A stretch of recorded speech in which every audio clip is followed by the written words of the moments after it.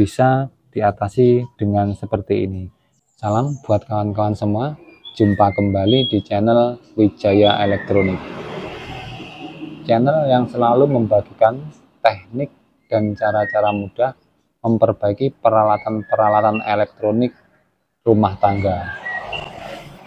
Di video kali ini saya mau membagikan teknik dan cara mudah menentukan kerusakan pada kompor gas yang letikan pada pematik apinya sangat kecil atau bahkan hilang. Jadi seperti ini. Kerusakan kompor gas ini pematik apinya itu sangat kecil sekali. Sampai-sampai tidak begitu kelihatan. Jadi, kalau kompor gas pematik api petikannya api itu sangat kecil otomatis gas yang keluar pada spir setat saat kita mau menyalakan kompor itu tidak akan terbakar dengan letikan yang ditimbulkan pada pematik api. Jadi kali ini saya mau membagikan teknik cara menentukan antara pematik api dan busi ini mana yang rusak dan mana yang harus diganti. Sebelum video ini saya lanjutkan, terima kasih yang sudah subscribe channel ini. Jadi langsung saja seperti ini. Jadi saya praktekkan. Jadi saat ini kan letikan api pada kompor ini sangat kecil sekali. Jadi bagaimana ini untuk menentukan letikan api yang kecil ini yang rusak mati apinya atau pada e, businya jadi begini tekniknya. Pertama-tama kita lepas kabel pemati api dari businya. Lalu kita dekatkan pada busi besi, pada bodi besi ini. Lalu kita putar seperti ini. Jadi pada saat tidak kita kasih busi, jadi ujung kabel pemati api ini bisa mengeluarkan api yang sangat besar. Jadi seperti ini. Nah, jadi seperti ini. Itu menandakan pemati api pada kompor gas ini masih bagus, masih bisa kita gunakan. Jadi, kerusakan pada busi ini. Pertama kita lepas dulu businya. Seperti ini, lalu kita bersihkan.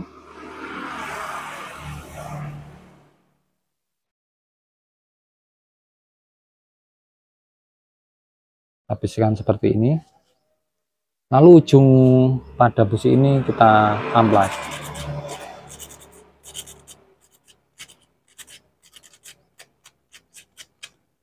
Setelah ujung pada busi kita amplas jadi ujung ujung ini uh, sepir setat juga kita amplas.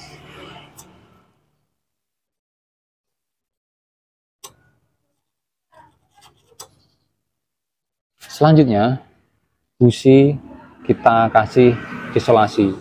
Jadi busi ini kita kasih isolasi agar seandainya ataupun busi ini mengalami kebocoran itu bisa terlindungi oleh isolasi. Jadi kita kasih isolasi seperti ini beberapa kali lilitan dan jangan terlalu banyak nanti tidak bisa masuk ke lubang dudukan sepuyer setat di kompor gas. Setelah itu coba langsung kita pasang. Jadi hanya seperti ini. Lalu kita pasang dulu ke kabel pemati apinya. Dan kita pasang ke dudukan kompornya. Lalu kita pasang. Penjepitnya ini lalu coba kita nyalakan. Jadi seperti ini. Setelah kita kasih selasi petikan api jadi lebih besar. Seperti itu. Jadi kalau kawan-kawan pas posisi keadaan darurat bisa diatasi dengan seperti ini. Tapi kalau kawan-kawan mungkin ingin membeli busi atau punya busi cadangan bisa diganti dengan busi yang baru. Jadi seperti ini.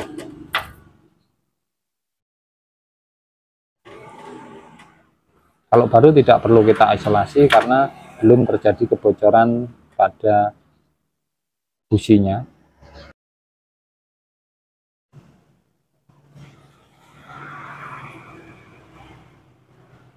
jadi seperti ini. Jadi hasilnya sama dengan busi yang kita kasih isolasi ini. Jadi seperti itu kawan-kawan teknik mencari kerusakan atau menentukan kerusakan antara busi dan pemati api yang letikan api di pemati apinya atau di ujung businya kecil sekali dan bisa kita atasi dengan cara seperti ini jadi teknik ini sangat mudah, simple, dan juga cepat. Bagi kawan-kawan yang punya pertanyaan, silahkan tulis di kolom komentar. Sekian dulu video kali ini, sampai jumpa di video-video selanjutnya.